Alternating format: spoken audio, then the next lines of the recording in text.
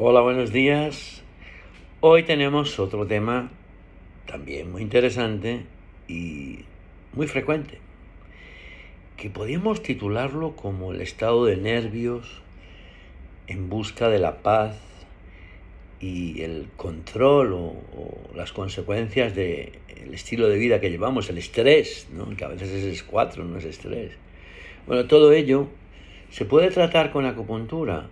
Podemos utilizar algunas técnicas milenarias como el Qigong Li o el masaje o la puntura en lugares muy precisos donde los seres humanos podamos en alguna medida recuperar el centro de nuestro sentir y la paz interior, pues yo creo que sí. A eso hay que añadirle pues un poquito de meditación y por qué no también oraciones que van encaminadas a, por decirlo así, hablar con el universo.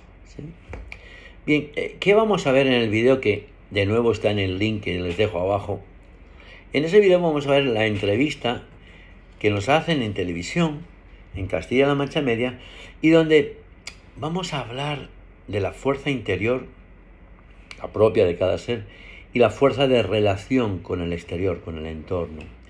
Vamos a hablar de los movimientos de energía. Hay un movimiento muy preciso, muy antiguo y muy eficaz, que es el Qigong Li del maestro del corazón o del Sin Pao, eh, hecho de una manera muy sencilla para que todo el mundo lo pueda hacer.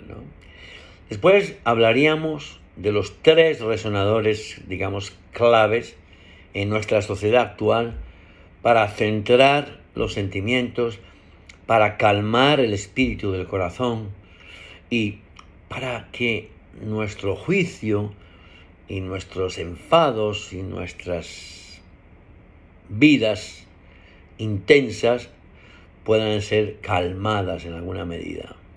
También hay un resonador para esta función.